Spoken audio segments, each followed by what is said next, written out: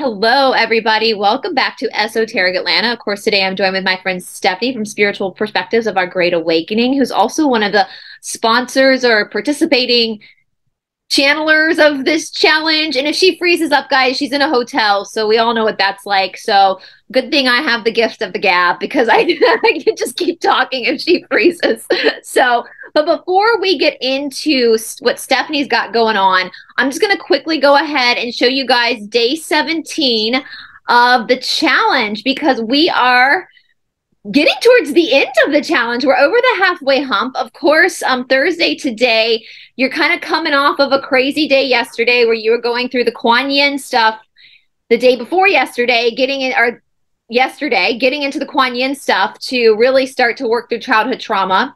Today, you're kind of recovering from that. The 17th, you've got again the barre or the half primary series with Ashtanga Nurse, the Om meditation.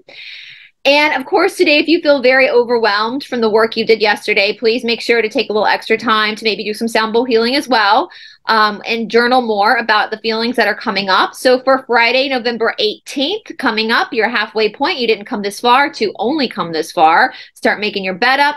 Um, if you uh, if you were doing like your last meal between be, be, between 5 and 7 p.m. We've been speaking about that a lot. Why that is? Give your digestive system at least 12 hours to rest. And then today you can do kickboxing again or half primary series with Ashtanga Nurse on meditation, food journal. And then today for Friday, you're going to be journaling, our tomorrow for Friday, you're going to be journaling about betrayal. This is another big one. So, a couple of days ago, you went through childhood trauma. Now you're going to be journaling and looking at what betrayal is. What is betrayal? Can you think mm-hmm. back to one time in your life where you were betrayed? Who betrayed you? What happened? How did it affect you going forward? Do you still hold resentment, anger, or hurt over the betrayal? Where have you betrayed yourself? That's a big one. In your journal, write a letter to the person who betrayed you. Then in that letter, tell that person you forgive him or her. Take a moment to close your eyes, take a deep breath, and then let the breath go. In this letter, tell the person that you wish the best for him or her. If you wish to tell them that you let them go, go ahead and do so. It is up to you if you want to keep him or her in your life. The most important thing is for you to to work on you is forgiving that person who hurt you. This is not for them, but for you. In the last few days have been emotionally challenging. That's okay. Shadow work is not easy. Take a moment to add extra to add any extra thoughts you're having. Have you been more emotional? Have you felt anger coming up? If you felt anger coming up, don't fight it, let it come up. The most important thing to note, though, is that you do not project that anger onto anyone else. If you need to grab a pillow and go sit in your car and scream into a pillow, you can.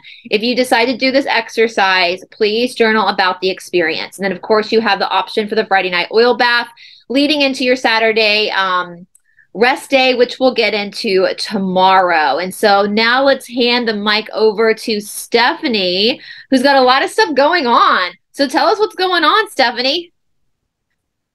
Hey. Hey, hey. um, so I posted a video yesterday on some new stuff that is going on on my um, my website for services. So as of the 12th of November, so the interesting number on that is it's literally 111222. I was certified in Reiki, um, one and two. So I am now considered uh, to be a practitioner in the Reiki healing. And so I am in the works of adding that to my services on my website. I'm still, my website is still under construction as I'm putting in the basic Reiki, which was because I want to do an initial with, you know, new people that I'm doing Reiki on, which is like a 90 minute, um, where I'm going over questions with that person and, you know, I need to there's there's certain things it's almost like going to a doctor's appointment but i'm not a doctor. But it's it's kind of similar in the concept is there's, there's going to be questions i have for that person. Um, so i'm just going to go over some of the new stuff that i'm offering. Good news is my 30 and 60 minute basic card readings are open as of january. So you can go check that out if you're interested. You um, I need to adjust the days ahead of time that you can book because it only allows me to have people book like defaulted it's 60 days, but I can change that. So I got to go back in. Oops, did I? I froze. Sorry. Okay. Um, So I'm going to share screen here.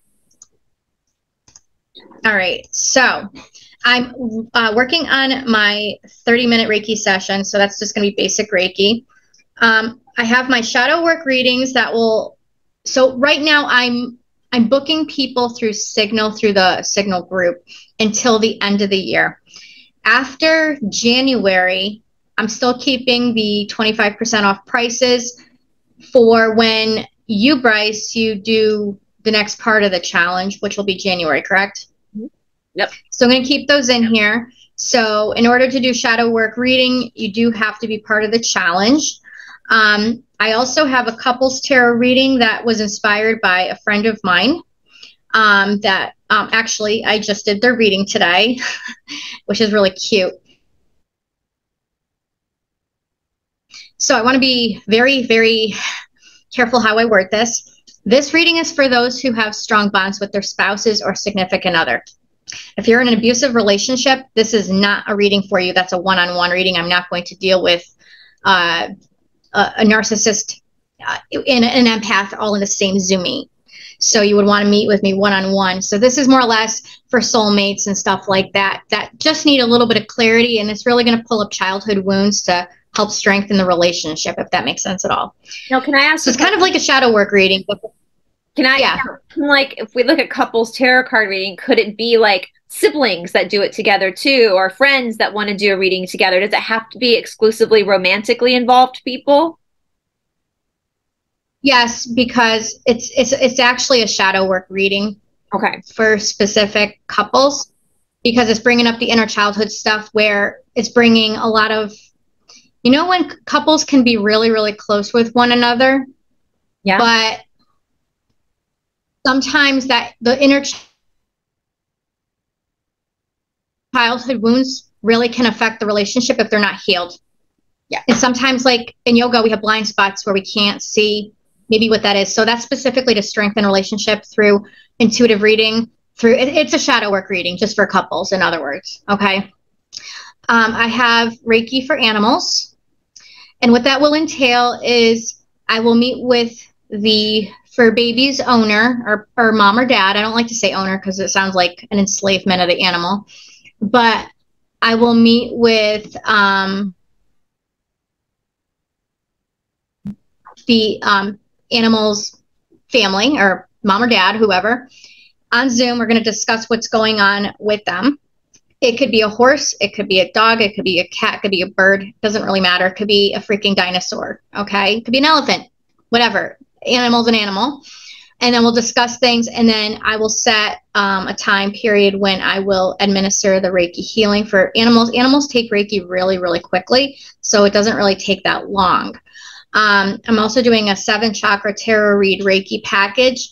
This is like the big kahuna. This is a 90 minute session where it's literally one chakra at a time. I'm doing the uh, Reiki plus I'm doing the card reading on that particular chakra. And I'm going to do a before and after reading on each chakra to see uh-huh. what spirit guides want to bring through. You know, what is in the root chakra? Is there any kind of trauma that specifically needs to be shown to the person, right?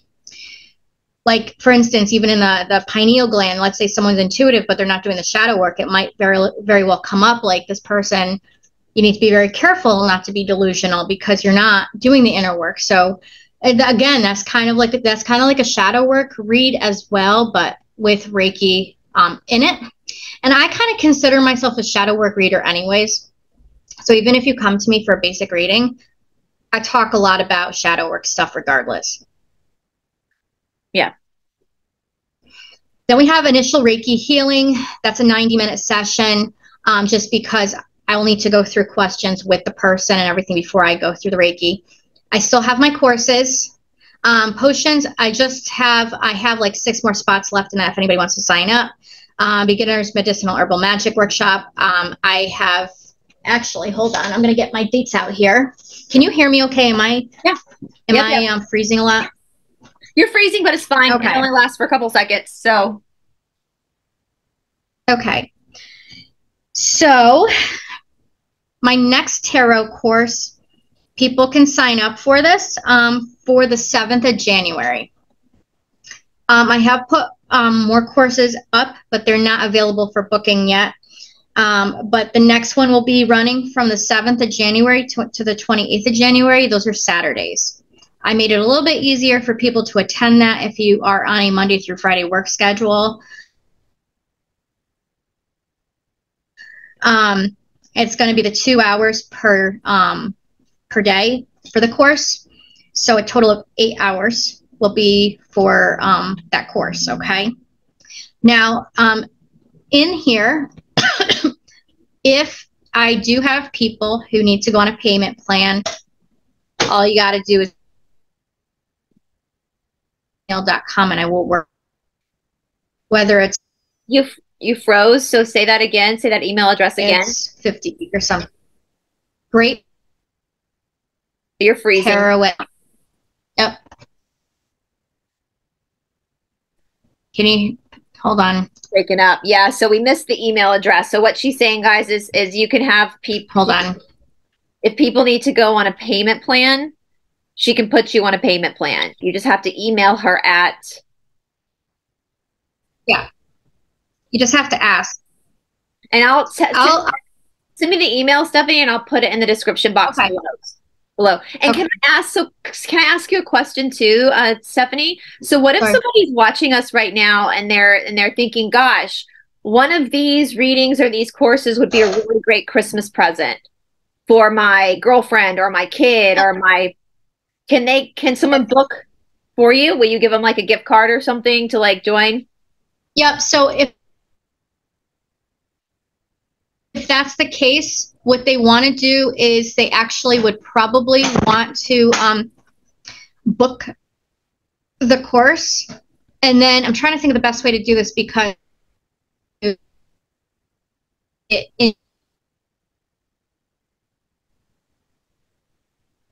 so can you hear me okay? Yeah, you just cut out there for a second. So say okay. that. So if so so again what we're saying guys, if you want to so let's say your girlfriend is like super So if um yeah, so if someone is interested, I would email me for a gift certificate.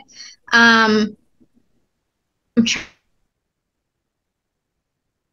trying to think there's no way I can do gift certificates on this website unless I literally set up gift certificate, but I can set up gift certificates on Apple Apple Pay. So on Apple Square. And all am I still really, freezing?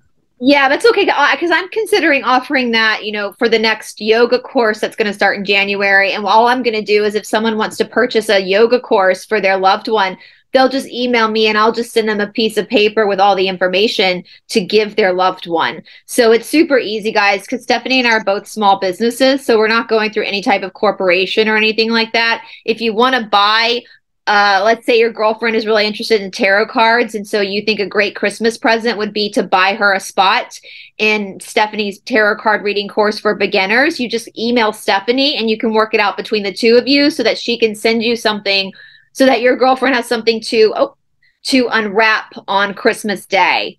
Um, let's see, guys. Sorry, there's some internet issues happening. Now we got two Stephanies. Oh, I signed off on the other one, didn't I? It's still up on my screen. I don't know, you guys. Like, hold on. Welcome I, the chaos of everything. I don't know why it's still up because I'm I'm logged out. It's off now. It's off now. Okay. This is clear. This is better. So what I was saying, guys. So yes, Stephanie. I don't know if you heard that. Stephanie and I are both small businesses. We're not corporations. So if you want to purchase, so if your girlfriend's really into tarot cards and you think, oh my god, this would be a great Christmas present to buy her a spot in Stephanie's course, just email Stephanie and you can work it out with her, and she can send you something, a printout of something, so your girlfriend has something to unwrap to see it. Now say your email address again, Stephanie. Now that you're on a different different device. So Great Awakening, like the Great Awakening, uh-huh. and, and tarot. So Great Awakening Tarot at gmail.com. And I'll put that in the description box too, as well, guys. Yeah. Yeah. What's something that's something you've learned on this journey, right, Stephanie? That in the spiritual world, we're always working with people, aren't we? Too. Yeah. Yeah, we're always working with people when it comes to paying for courses and all that kind of stuff. So don't ever, I want to express that too. Because I know I've got a few people in my yoga course who are on payment plans. Totally fine. That's totally mm-hmm. fine. You know, you don't have to be a millionaire to take these courses, we will work with you. Um, all people will, and I think you've learned that too, because you're so used to the corporate corporate world, right, Stephanie, or the medical world where it's so like cold almost, right? Yeah, yeah. So I, you know, I've had to ask for help for doing courses before, actually recently. So yeah, scared to death to even ask, but I, I did it. I had no choice, so there's no way.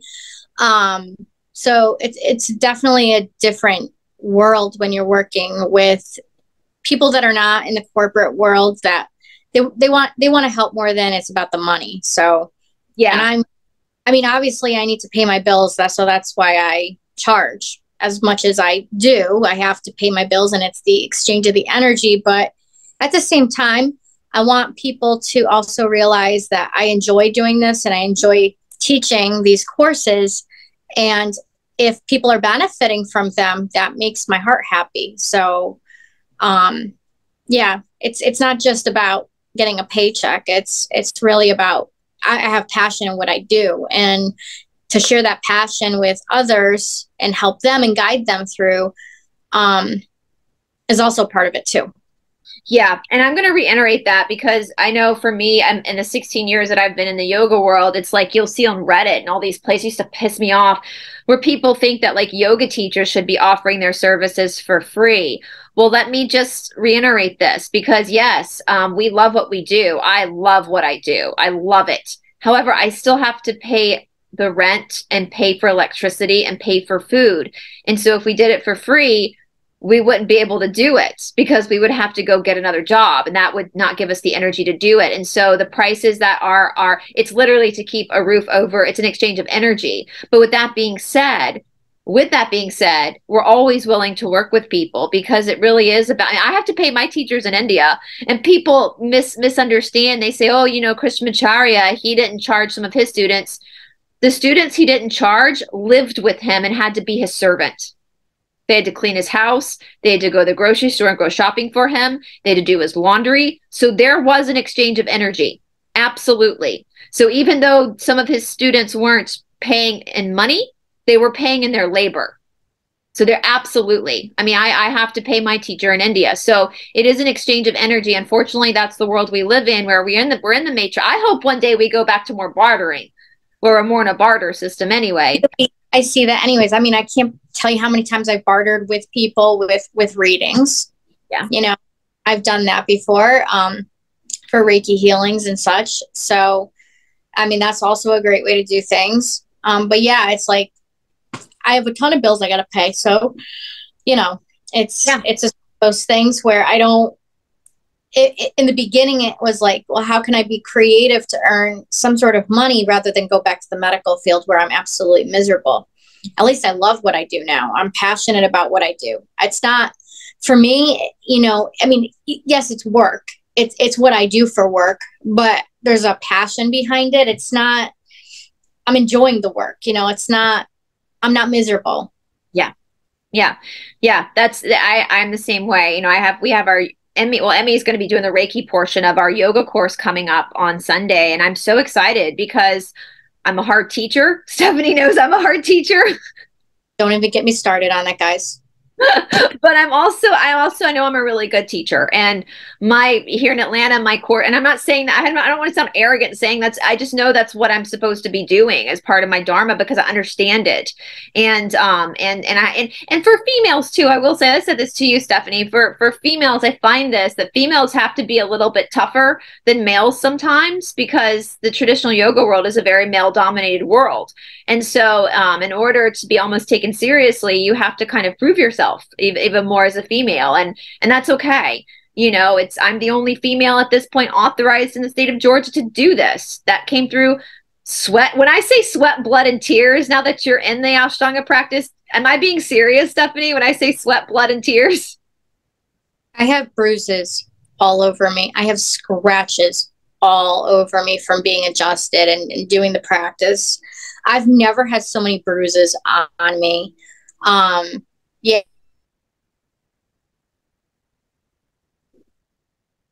No. A lot. And I, I just don't cry a lot, uh, whatever that's from. You cut out there for a second, Steph. So you cut out after you said, I have bruises all over me. So, as far as crying goes, I can't even begin to tell you how much you cry. You're purging. I have cried and I have cried and I have cried and I am tired and I am beat up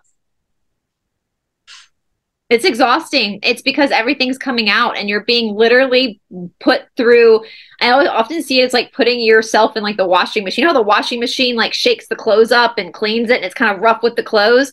It's kind of what's happening to you. It's everything's being unstuck. Everything's being kind of shaken up and coming to the surface. And the bruising too. So I don't know, Stephanie, have you ever done cupping before? I know what it is, but no, I haven't. I used to do cupping all the time. Cupping is is, is this um is part of uh, Chinese medicine as well as some Ayurvedic medicine. So what cupping does is they they find places in your body where there's where there's some tension and some stuck blood. And as the Chinese doctor who used to do it to me, he would say, you know, it's like you have a traffic jam with the blood over like a tight area and then it can't move so it gets stuck. So what the cupping does is it comes and it pulls the old blood up and then so the new blood can come in and heal. Well, what happens with the cupping is you end up with these gnar after you're done, you have these gnarly just bruises. They look like hickeys all over your body from the cupping. And so what happens in yoga is kind of the same thing when you get bruised in yoga. Half of the time it's not a bruise because you were knocked. It's a bruise because old blood is being lifted out of the fascia. So that yeah, it's not, not a bruise where I like bumped myself. It doesn't even, they don't really even hurt that much. It's just literally like a discoloration under the skin. And I mean, it's gnarly looking at times. I have one on my inner thigh that's like huge yeah it's new blood's coming in and and and healing the area. And the physical body is the expression of the soul. I mean stephanie we talked about this last night and this is where kind of the ego death comes in because even though the physical body is the expression of the soul it's not the soul. And so it's just this like jungle gym of obstacles that your soul actually picked. You know it's like when you go to college. I want to flip the bird at my soul right now I mean, when you go to college, you have to kind of pick your classes, right? And then you have to petition to graduate. That's kind of what's happening. Like your soul sits down before it takes the incarnation and sits down with your higher ups and says what what do you need what what are you carrying over to the next from the next life what do you need to work on what's your karma and so you you create this this beautifully designed avatar that's going to have a nervous system that's going to have you experience and on top of that though you're not going to remember that this was your doing. And mm. when you hmm. start to accept that and remember it's your doing, then you kind of take your power back and you go, you know what? I mean, I talked about this with Emmy yesterday. You can either deal with this shit now or you can deal with it in the next life. Um, I was doing the reading for a couple weeks from now for the Sophia Code, and I was talking about uh, Dr. Uh, Brian Weiss, who um, you might like his book stephanie actually. He um i so i grew up with a grandmother who believed in reincarnation my dad's mom. Even though she played the piano and the organ at the church on sunday she had her books on re- she would talk to us about it as kids. So reincarnation was not a foreign subject to me when i got into college. But when i got into college i started to kind of question life a little bit and i started to read these books on reincarnation. And i read dr brian weiss's books and um, he is a hypnotherapist, a psychiatrist who learned hypnotherapy to try to help people with like smoking, like stuff like that. And it, he stumbled upon past lives accidentally. When um, he his patients would go under hypnotherapy and they would start talking about past lives and the issue was coming forward from the past life. And once they worked through it it released their issue. And one of the books he wrote though is he started learning how to tap into future lives. And so he would have his patients under hypnotherapy look at all the options they had for future lives. And all the options of these future lives depended on what they accomplished in this life.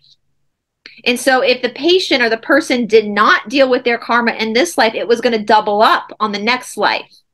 And it was going to be a hard life.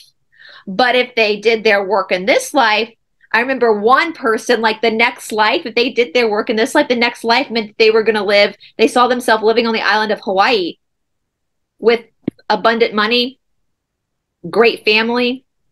But the other option, if they didn't work on themselves, was like drug addict on the streets. So it showed the patient like, okay, you can you can neglect this in this life, but if you do, you're going to be going in the harder direction the next life. It's not going anywhere. But if you work through it, there's an easier path coming for you. Let me tell you, I better be on the Hawaiian Isle with abundance of money because I'm choosing to work through it right now. So yeah, just saying. Yeah. So, so just just please bring me there, please. You just got to break through, and that's and that's what and I and I, I talked about that in that reading, which I'm editing still for a couple weeks from now. But I I was like, this reminds me of this book, and so if you guys look under Brian Weiss, Dr. Brian Weiss, his books are incredible. He actually gives a lot of lectures now, and he even talks about how when he started doing this work on patients, it changed him spiritually as well like he started having when he speaks now he has a very like calm when you listen to his lectures he's very calm he's very peaceful with life because he you know grew up growing up jewish like we grew up christian this shit wasn't talked about even though it was in the original teachings. So he like you know if you grew up christian a lot of the jewish people people also grew up this idea like you got this one life and that's it. It's a very daunting idea yeah? But when you realize that no it's always just a game of you knowing yourself. That's all it is. You start to kind of get more peaceful about it. And so so yeah you guys and i keep the people in our challenge right now. I mean stephanie i'm just so shocked at how many people are actually doing this. Aren't you? Well not just doing it because part of me was at the beginning was like okay people can say they're going to do it but are they going to do it? Because it's free. Yeah. It's not like you're paying for personal oh. helper. Yeah. But what I'm seeing is I can't tell you how many comments of people like, "Oh, I went to the store today and my jeans are falling off," or, um, I went down a bra size. Like, I just like, and it's not even just weight things. It's like literally people are being vulnerable in the chat to kind of express their experiences, which I appreciate because that honesty through that vulnerability stage is like going to help the next person out, right? So that's why I'm open about a lot of my issues because if it can help another person relate to me and what I'm going through, and that would help the next person, then great. And you probably can understand that too because you're quite open about stuff in your life as well. Um, but it's amazing to see the effort people are putting in. They're not just doing the challenge, they're actually challenging themselves with even more. Mm-hmm. So yeah. people will say, "Oh, I had a choice between what is it, barre and ashtanga, but I did both." Or I didn't just do a five minute cold shower; I did a ten minute cold shower. I'm like, you guys that one because I can't do more than like three to four minutes. I told you guys, like everyone's like, I don't know if I can do the. I'm like, listen, that that's just life changing. I I'm a baby when it comes to the cold too.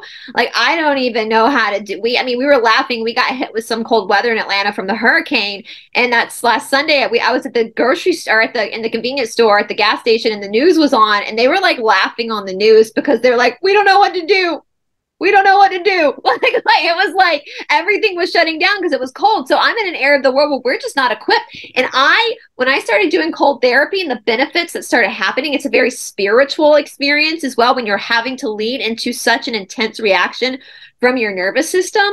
And yeah, I was shocked. People in the chat were saying, Yeah, I'm doing 10 minutes of a cold shower now. And I didn't ask for 10 minutes. I just said five minutes.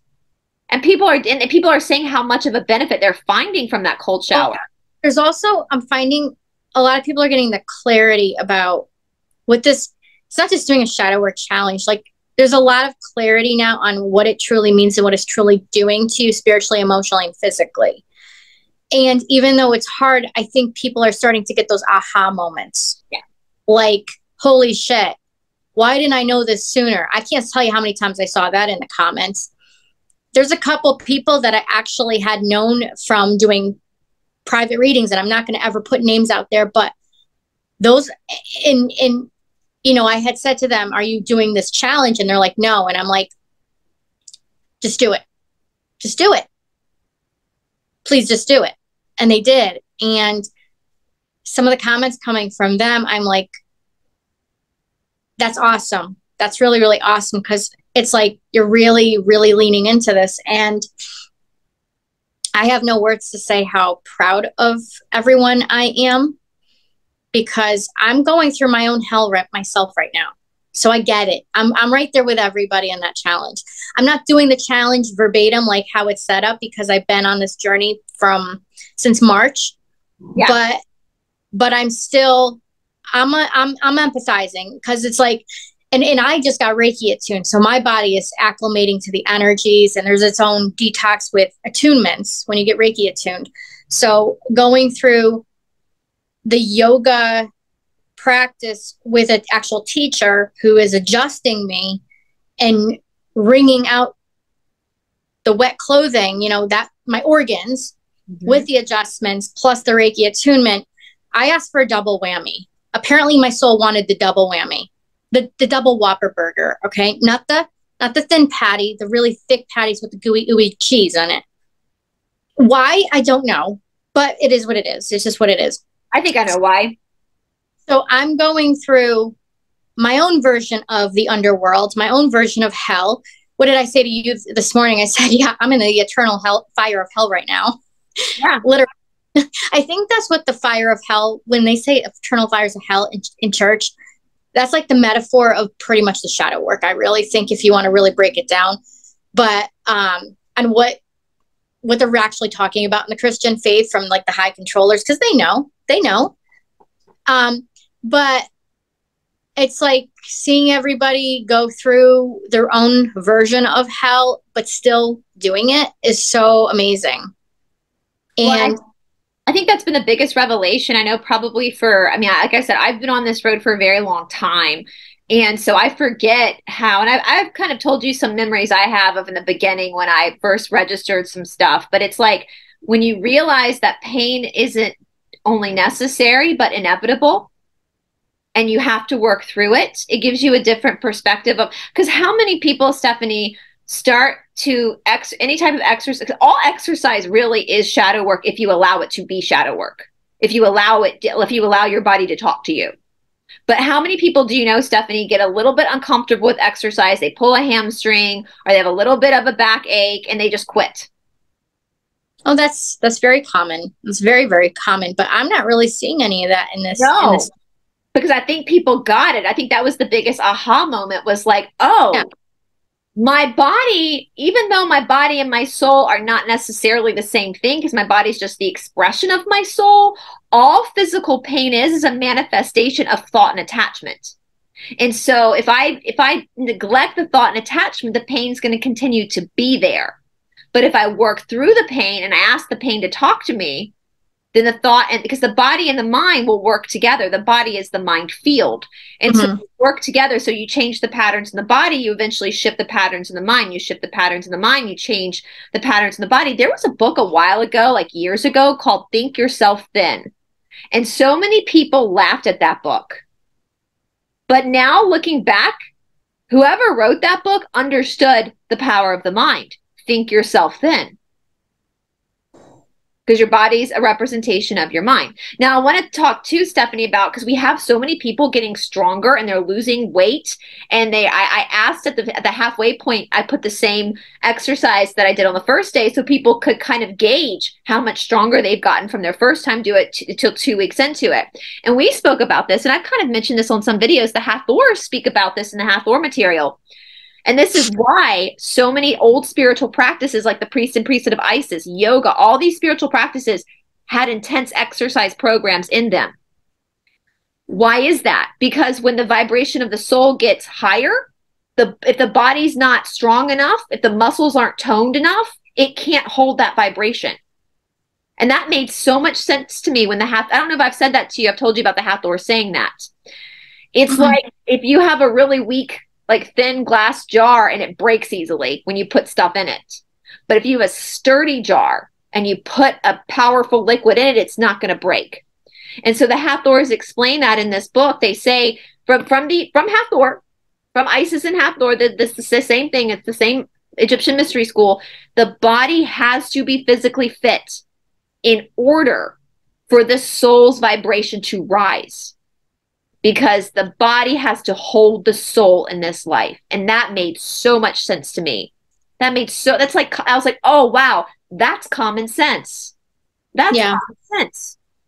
How can we it, never correlated the two before? It might rattle a few cages, but it doesn't mean you can't get there. You know, if exactly. I, I overweight for I don't know 15 years on and off. So with me, um, I'm very uh, I fluctuate, and I've been fluctuating. I'll I'll be 110 pounds, and then I'll gain 40 pounds. I'll go back down to 120 pounds, gain another 40 pounds. So I could be a little toothpick, or I can be a pleasantly plump little munchkin from Munchkin Land singing my Munchkin tunes. Like it, it, it just depends on what I'm going through in life because I'm an emotional eater. But with that I'm doing and the eating of foods that benefit my body rather than harm my body through the dosha Ayurvedic ways and practices, I'm not even really that hungry and I'm not emotionally eating. Even, even though I'm going through the ring of fire right now, literally, I'm going through my own little fire of hell. Um, I'm not emotionally eating. In fact, I don't even really think about food. I just eat when I need to eat. Sometimes I actually forget to eat, which is unlike me because let me tell you, I am a foodie through and through. When life has me down, I could just munch on a lovely bag of potato chips. That is my thing. That's my jam. Even more so than ice cream, that is my jam. The crunchy, kettle cooked, salted potato chips. Okay. And if we want to really get fancy, then we can get some dip in there too. But that's, but I'm not doing that. In fact, I haven't touched a damn potato chip in about two months now. It's amazing. So, and because I, I can't, it's, it's kapha and I have to eat vata food. So, I, like this morning, my, I ate an apple with peanut butter and then I had a vegetarian salad with fresh, fresh um, vegetables on it. So instead of putting meat on there and stuff like that, because I love sandwiches, but I don't eat meat anymore. I'm a vegetarian. So you, you get creative. You really get creative. I've been eating a lot of chickpeas. Love those chickpea cheese twizzy things that are not made with potatoes or anything, but they're made with the, the chickpeas. What are they yeah. called? Um, Hippeas or whatever. Hippeas. Yeah. Yeah. Hippeas. Yeah. Yes. So, so guys, and that's what, so when you start to, I feel like and yeah, it might trigger people by me saying that, but I'm just saying what the Hathors are saying, what the Egyptian mystery schools are saying. And it makes sense. It's common sense. And I'm going to tell you if you are overweight, so this should be the wake up call to get your body physically fit to be able to take on a higher vibrational spirituality. You might not ever be a size zero, especially if you're a kapha, but you I can get to a point where you're a six or an eight and you're physically fit. And the same muscles that I have in my body, Stephanie has in her body. The same muscles that our friend Jamie Salé, the um, figure skating Olympiad, has in her body, you have in your body too. And so it is possible. And if by saying that, if by the Hathor saying that, it triggers you, it only triggers you because you know it's correct. Well, you we're not even correct. We're not we're not necessarily talking about like body shape either. Mm-mm. So obviously your disposition is going to have a contribution to what you're like. I'm more rounder. I gain weight easy, where you are underweight very easily and you're long and lanky. You and very, somebody told me I was sharp. I have sharp edges because I'm so bony. Chiseled face. I had the I have I have uh, to this is this might be TMI guys. This might be TMI, but I'm all when am I never not? You you always say TMI. I worry about my hip bones in certain acts sometimes. There's certain intimate acts that I worry my hip bones are actually hurting the other person. Where I am a little bit more voluptuous in those areas. I'm, like, what, what would you say? It's like uh, a curvy. when I say cushion for the pushing, yeah, I'm a little more on the curvier side. Now, I'm not obese by all means. No, I'm not at all. You have a cute figure, yeah. But if I mean, I could get I could get obese if I let myself go easily, like absolutely easily. I've never gotten to that point where I've allowed it because you know I, I just can't. Clothing hurts me to begin with because my skin is super sensitive with certain clothing. I'm always in sundresses, even in the wintertime, because I literally hate pants. I hate the way they feel on my waist. I'm but, always, I'm the same way, and I'm I'm skinny, and I always wear sundresses because yeah, it's comfortable. Me and a lot of like that way. Actually, me and you have like the same style and clothing. It's funny. Um, it's way. It's. I'm sorry. Blue jeans are only for special dates. yes, I don't do blue jeans very often. Um, I brought them with me on this trip and then it got really, really cold. So I ended up wearing them. However, I actually had room in them. So I've dropped, what do you think I would drop? You haven't seen me too, too often on this trip. I've dropped probably between five and 10 pounds since being here. I'll, I'll see you more next week. And I've been doing that, guys. I've been intentionally like she only she's only staying like 20 minutes up the road for me, but I've been intentionally allowing Stephanie. I've said this before, but it's super important. When we get into the artful dodger, that's what that's what David Garrigues used to call the ego, because the ego works in very weird ways when it knows it's being challenged.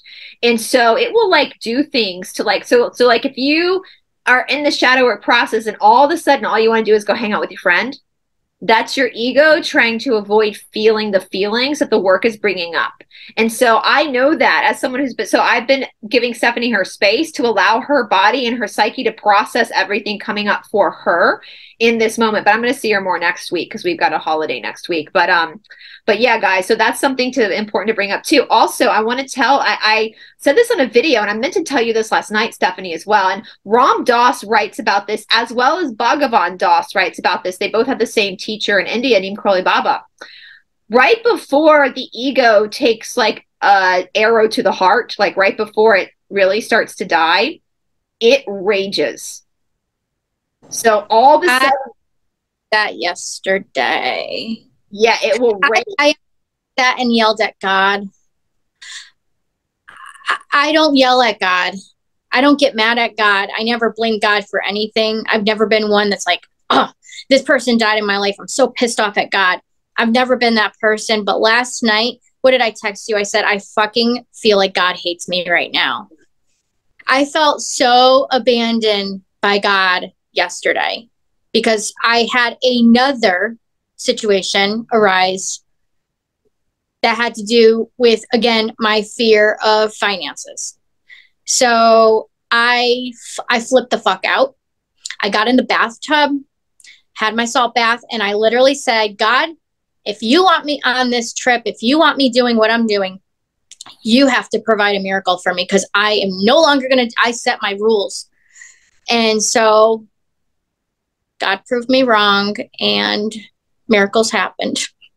Well, and that's what happened. So I and I told you I was I I tried and I was telling you last night I was like because I was trying to talk you off the ledge last night. There's going to come a point years from now where you're going to be talking someone else off the ledge because the same. I was telling I was I was like Stephanie the same. I was like you're not alone. You're not alone. This happens to everybody on the path. You're not being singled out. You're not being excluded. And I told you after after we calmed down, I said my first trip to India. I went to my bank, which was SunTrust Bank at the time, which is Truist now, and I told them specifically to put in my file that I was going to be in India for like four months. And I knew that because I'd gone to school in the United Kingdom. And so I knew I had to tell the bank because I didn't want them shutting my card off, thinking someone had stolen my card.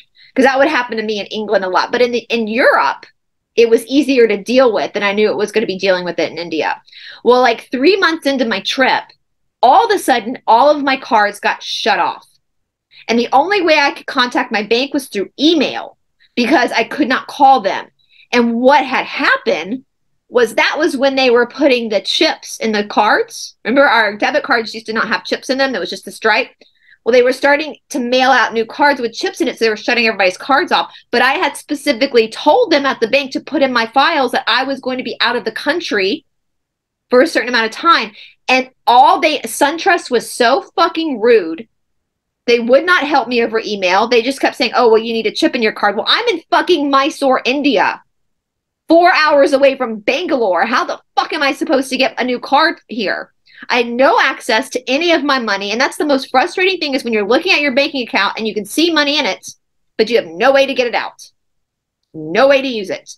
And so I was praying. I called my parents they had to Western Union me money, but then I was nervous because sometimes in India, they run out of notes, money notes. And so I was like, Dear God, Ganesha, Shiva, whoever's listening, like whoever's on call right now, like whatever, I let there be some and thank god there was there was some there was some notes at the western union so i was able to have cash on me but then even flying back I had to fly to Dallas first. And when I was in Dallas, I had to change over to a domestic flight. And so I had to recheck my baggage in. But I didn't have any cards that worked. And I didn't have any United States US money on me. And so I had to call my mother from Dallas, Texas, to have her Western Union like a hundred dollars over to the airport in Dallas so I could recheck my luggage in. And I went to, and I mean, it was one of the most stressful situations I'd ever been in in my life because I literally had no access to anything in the middle of India, in the as a white girl in the middle. And I'm not, I'm not trying to sound racist about that, but I'm a target. If you know, when you're in a country where, like, I'm in Europe, it's easier because as a as a white person, you can kind of blend in, but you stand out and so i i was screwed. I mean the good thing is, is i had friends there as well. So i knew that if i if i really was in trouble i could just go to my teacher or go to some friends and see like if there was a way that i could have I mean, one it happened to one of my friends as well one of my canadian friends where their cards got shut off. And all they did were able they they transferred some of their money to another canadian person's account and that canadian person pulled the money out. So i thought if worst case scenario i could try to find someone that i can do that with but it, it was it was and then i went back when i got back to america i went into suntrust and i closed my account. And i said i will never bank with you guys again. And i told the woman at suntrust what had happened. I showed her all the emails. The woman at suntrust that was helping me started crying reading my emails because she felt so bad for me. Because she realized at that moment that i could have been killed without having money in india and no way to get to even to get to Bangalore to get to, which is four hours away to get the American embassy that SunTrust had put my life in danger at that point and they were not willing to help me. And I had to, I had taken the precautions beforehand. It was in my file to let them know that I wasn't going to be I was going to be there that was going to be me using my cards. She cried at the desk. And she closed my account. She gave me all my cash back and she was like I am so sorry I she goes, I'm gonna send this to my higher ups. This was this is inexcusable what happened to you. So I told Stephanie, I was like, it was funny because kind of the same thing happened to me that happened to you. And it's terrifying.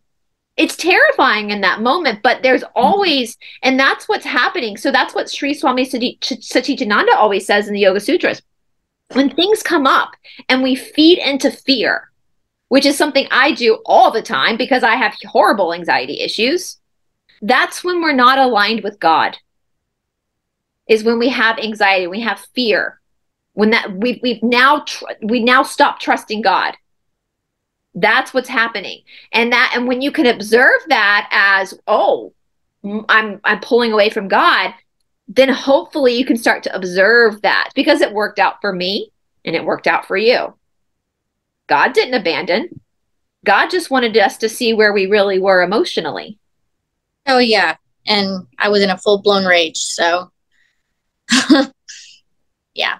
And now you have that experience, and now you can learn from that experience. And I told you last night, there's going to come a day, five years from now, ten years from now, where somebody's going to be in your shoes, and you're going to be talking them off the ledge and being like, "Same thing happened to me.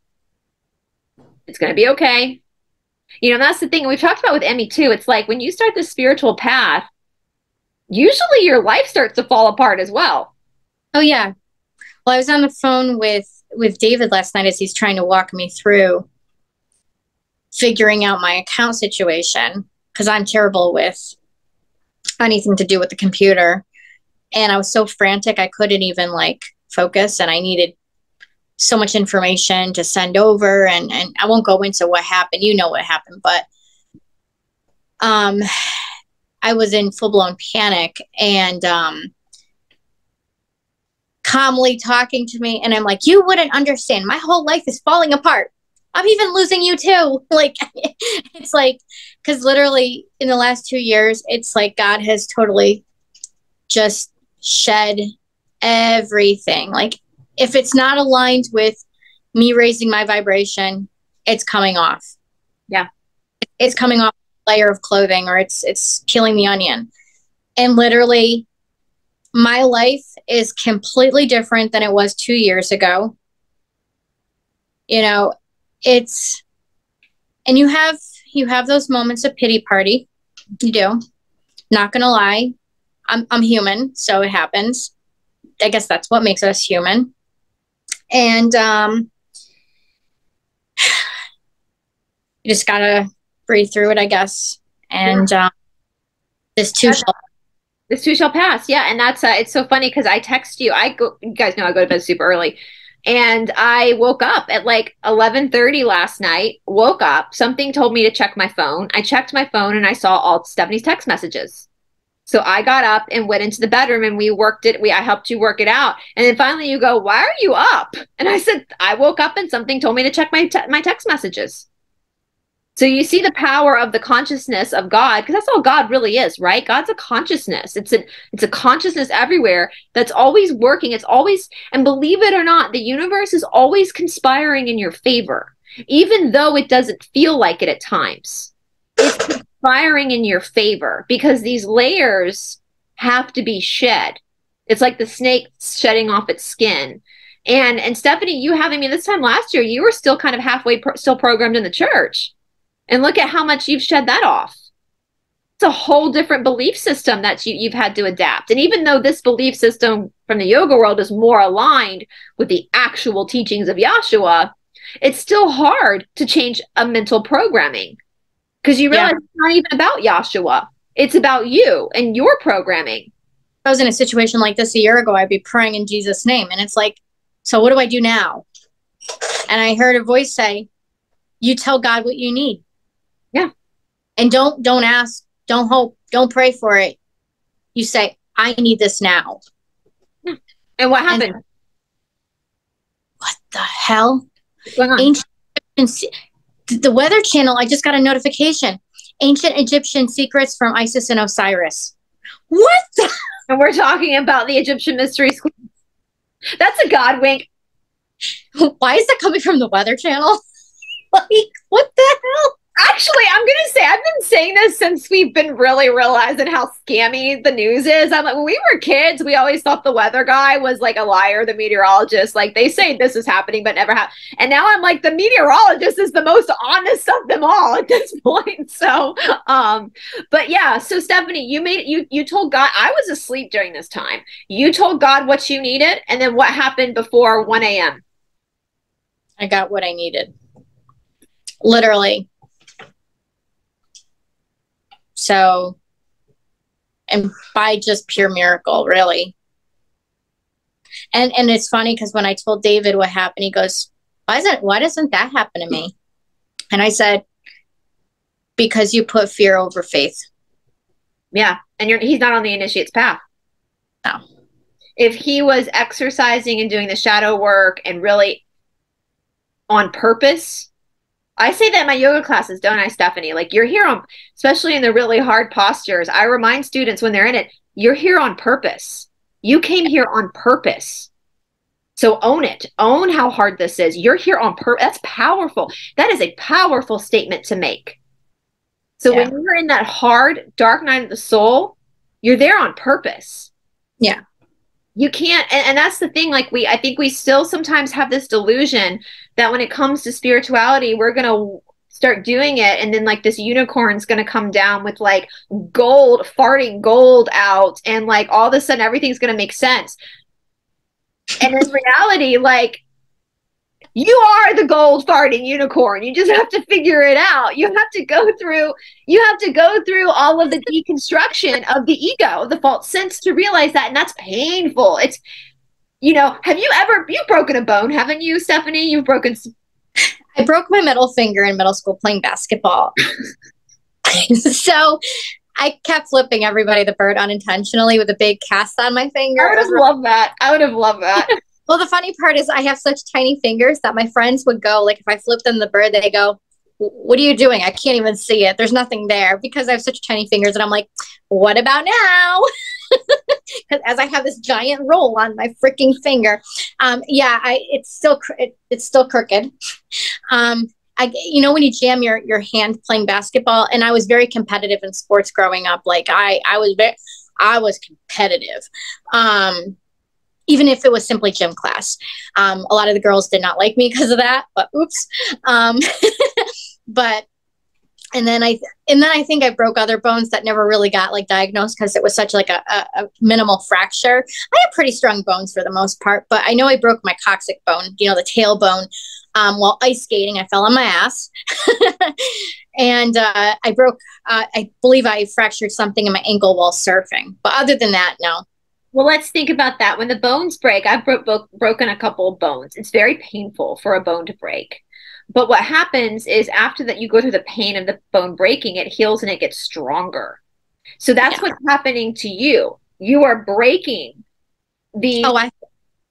I feel very broken. and it's going to build back yourself stronger. And um, it's like I was telling you last night when I broke my sacrum. I'll tell you guys. So when I broke my sacrum, I was practicing in Ohio with a teacher that I will not name who is a raging narcissist. And there is a I had driven up to Ohio. I just gotten back from India. And there's a rule we have in Ashtanga Yoga that after the day after travel, you do primary series. If you're working in second or third series, you only do primary series to, to reground your body. And I got to his shala in Ohio to practice with him, and he said he he wanted me the very next day to just go straight into second series. And I said, no, I drove 10 hours, like I need to do primary. We kind of got into like a little standoff over it. And I was like, no, my body needs to be regrounded. So he finally like gave in and let me do primary series. And I was in Supta Kurmasana, which is like one of the middle postures of primary series. It's with both of your legs are behind your back and your arms are bound and your head head's on the floor. So you're laying on your floor with the head with your legs behind your back. So you're pretzel. Yeah. Well, I was in the posture. My friend Chris had driven down and he was from Canada. He was practicing beside me. And this teacher came by and did an adjustment on me that's not supposed to be done. It's an illegal adjustment. It's um, a very dangerous adjustment. And I didn't need the adjustment. I did not, I was in it fine. I did not need the adjustment. He sat on my back. So this teacher is like six foot four, a lot bigger than me. He sat on my back and he grabbed my feet and pulled my feet back. Now, when we adjust, like when I adjust a student this, I stand by their head and lift their feet up and let their head drop. That's my, but that's not putting any pressure on the back. The back is supposed to be curved it's like a it's a turtle pose. So it's like you're like curved with your legs. Well, he because he, he, sat on me, it popped my spine in the other direction and pulled my legs back. My sacrum went pow. It was so loud when it actually broke. My Chris beside me like jumped up, like looked at me. He did not. The teacher did not get off of me. He stayed on me while he was doing this. And then he like let and I continued practicing. I just continued practicing Chris was looking at me. I think my mind just went into shock. I didn't notice how much pain I was in until I got to drop back stand up. I was doing my back bends and I stood up and I went to drop back. And that's when I realized because drop back stand stand up is relatively easy for me now. It's not, and I, but that's when I realized something was wrong. Something was really wrong.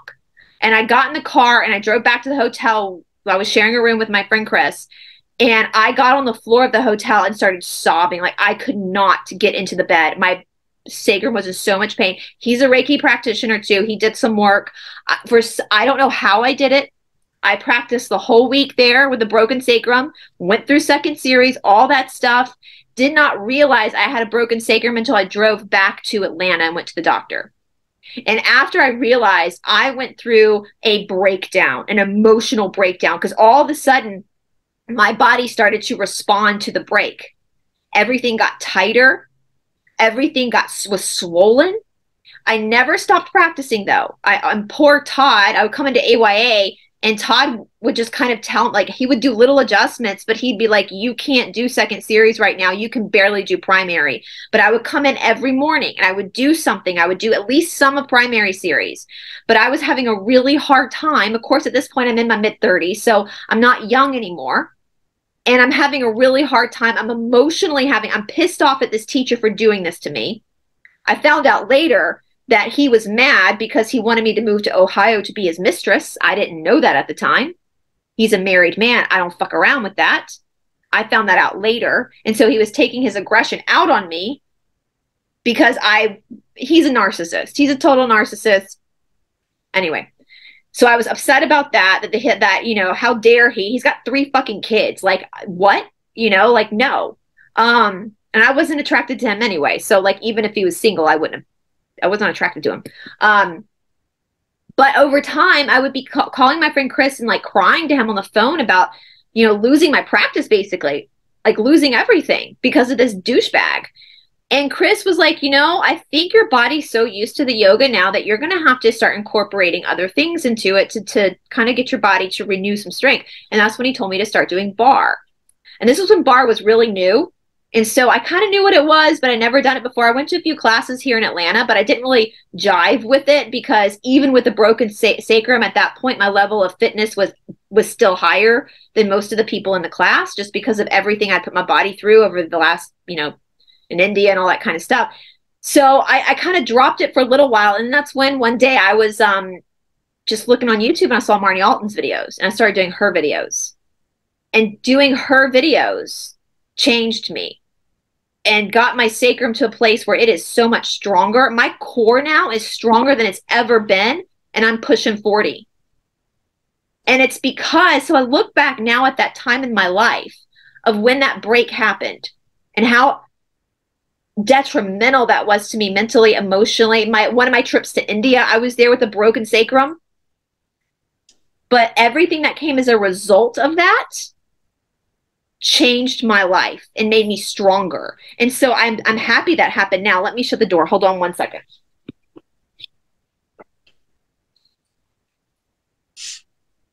So I'm happy. I'm actually happy that happened. I'm actually grateful to that son of a bitch who did that to me. And I hope his wife has left him by now because girl, you deserve so much better than that asshole. But um, but you know, um, I'm actually grateful it happened to me because if I had not gone through I mean, it was like a couple of years of rehabilitation. I would not be where I am now with my body, and my, my body would not be as strong as it is now. And so, I, what I could have done is I could have just quit everything because I had a broken state and been lazy, laid on the sofa, just quit everything. But I didn't. Even though life was so depressing for me and everything was so frustrating, I still got up every morning. I still went to the shala. I started doing the barre and everything. And that's how I found Marnie Alton, which we love a Marnie Alton, don't we? Sure do. She's what I so I I'm, I feel grateful. And I noticed too, I was actually studying some of her classes, and I, I said this on the voice message to our group today about the flushing between sides. And you know how in Ashtanga we flush between sides? She does that too in her her practices as well. Yeah, I noticed it. I noticed too between sides. That's super important. So how does she, for a yoga background, perhaps even? I, I, think she studied some of the yoga stuff she does do is not um, traditional, but I think what she's done is she studied energetic body. Yeah, and that's and so you're just gonna you're gonna understand that there's two different karmas, and so she's flushing as well, and I'm just so grateful. So because of that asshole what the devil will make for bad, God will use for good. Because that asshole broke my sacrum, I found Marnie Alton and my body got super strong. So you have a choice though. It's kind of like we were saying with the Brian Weiss stuff where you can work on your karma now and have a great next life or not work on it and have a shitty. I had a choice to make in that moment. We're at these this crossroads where I am either going to just give in to a broken sacrum and have a woe is me and not do anything and just I'm going to be the victim or I'm going to have many little many many tiny pity parties every day but still get up and do the work. And because I still got up and I did the work, another pathway of, of, of education and learning opened for me. And so that's what, and that's why I keep telling you, Stephanie, you're at these little crossroads. Mm-hmm. God's like, what you gonna do? Which which path are you gonna take? Even the I, I Ching, I won't say what the I Ching said, but what the I Ching was pretty much like, you're on the path. Yep. Buckle up, Buttercup. God help me. The I Ching is another form of divination, guys. That's what the I Ching, if you don't know what the I Ching is, that's another form of divination coming from Confucius. It speaks in metaphors, but it pretty much was very clear with, with Stephanie. It was like, listen, you're walking a razor's edge right now, but it's necessary for the initiate. It's the initiate's path. I mean, even I was reading, even the Gnostics, Christians, the original Christian faith, um, they had a very extensive initiation process, and the beginning stages lasted about five years. And um, a lot of people quit because they wanted instantaneous. They couldn't handle the five year of grueling work before they were brought into deeper teachings. But you can't have deeper teachings until you've shattered the programming of the lower. Yeah, that makes sense because, I mean, if you were to go into the the deeper, deeper um, teachings and the ego still has not died its death, forget it. Then you're turning into an asshole. Yeah, well, that's what the dark cult did. So a lot of the teachings, it's like I was talking to Tamara off off camera, and we were talking about NXIVM That that a lot of what Keith Raniere is teaching or was teaching does come from legitimate um, teachings about the self. But what he did, because he's a psychopath and he's now rotting in prison, what he did is he twisted it and he used it to manipulate. And so a lot of these poor victims had not had the appropriate prior teachings to see where the manipulation was.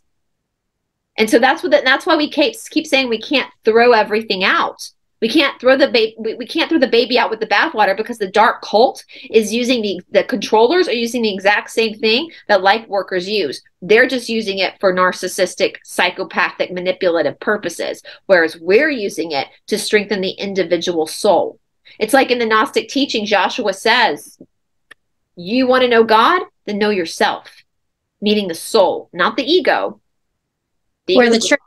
Do completely the opposite of that because God, where does God live? In our in our in our cells in our soul in, in our body, really. The spark of life. Um, the recording I did today, which will be released in a couple of weeks, it talked about went through the Gospel of the Holy Twelve again in the Sophia book, where we talked a lot about animals. And we know in the Gospel of the Holy Twelve, Joshua was very clear. You don't abuse animals. You don't eat animals. Are they? Do they not have soul? Are they not the same divine spark of light you are?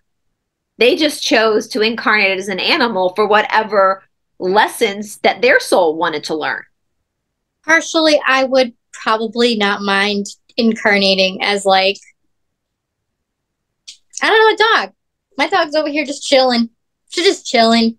My my friend Harmony Slater, who is uh, Canadian, she's one of the 17 women who were certified. She's quite a badass. She loves Ravi. So before the pandemic, she would come down and teach a couple of times a year as like a guest teacher.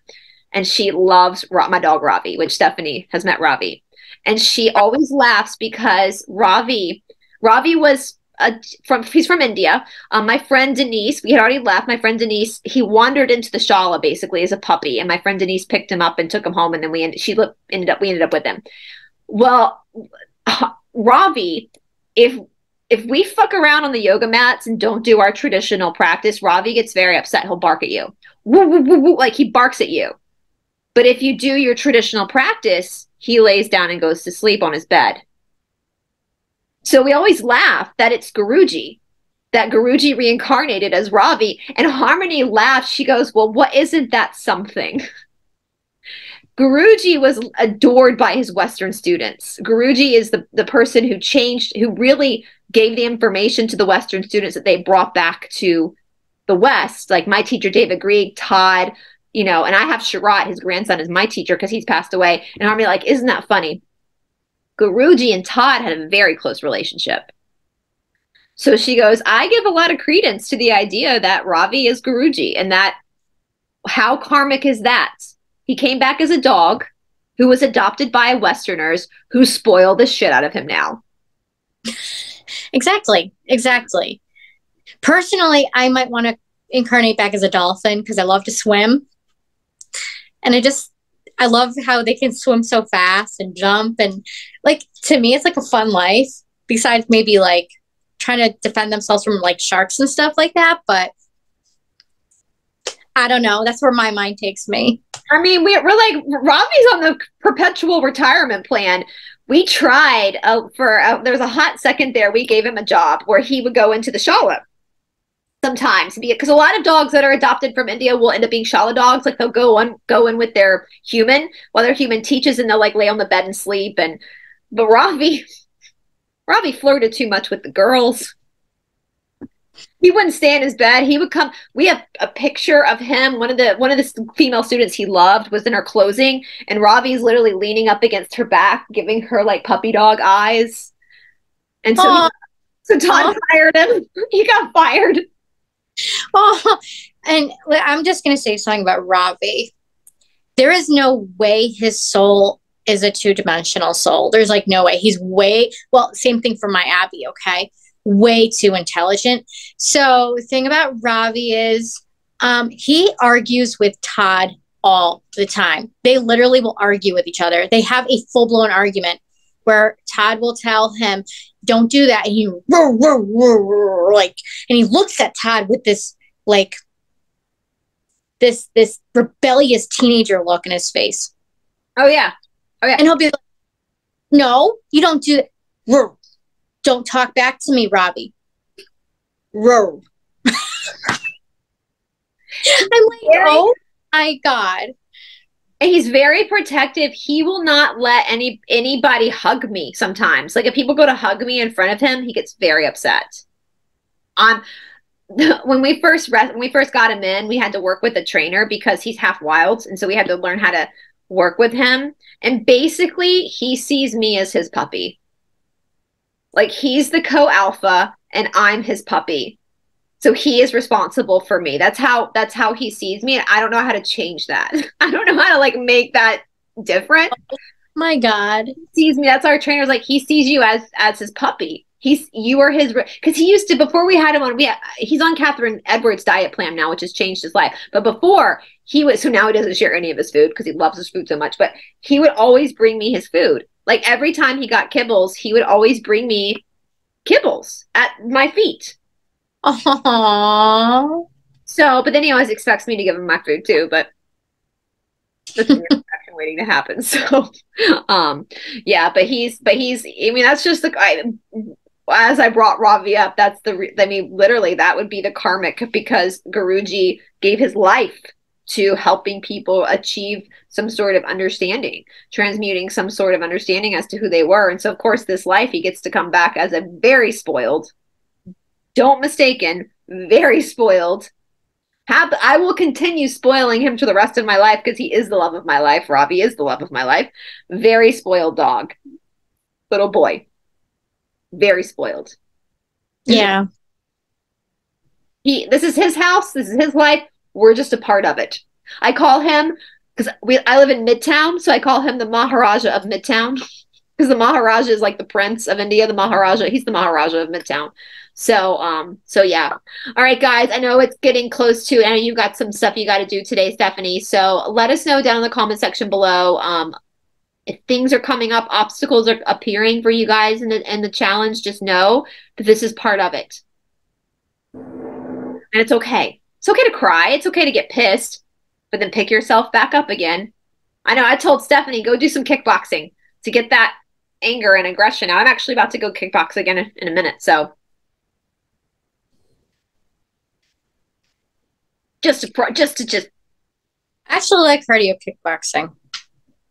I, I shouldn't be doing as much of it. I did it a couple days ago, but I'm going to do it again because I'm PMSing and so things are agitating me. So I'm going to go channel that through kickboxing.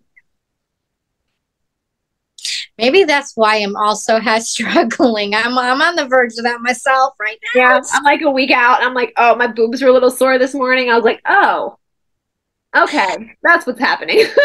Again, sorry for the TMI, everyone. So hey, it happens, man. When you are PMSing, your boobs get sore. It's just, it is what it is. They get sore. They get sore. If you ever date me, I will probably ask you to massage my boobs at some point in the relationship in this time. Nothing sexy, just like I, they're, they hurt. Can you massage them for me? They really hurt. so they hurt, man. They hurt. well, on that note, I have a course I have to go teach soon. And uh, yeah. All right, guys, we love you all. Let us know how you're doing down in the comment section below. Um, check out Stephanie's courses. I'll put all the information down in the description box. Once again, if you need help financially to do a course, just contact Stephanie uh, privately and work that with her. And if you want to buy something for a, a Christmas gift or birthday gift or Hanukkah gift, or if you just want to buy someone a gift, contact Stephanie and you can work that out with her too. So, all right, guys, we love you and we'll talk to you soon. Bye, everybody. Bye.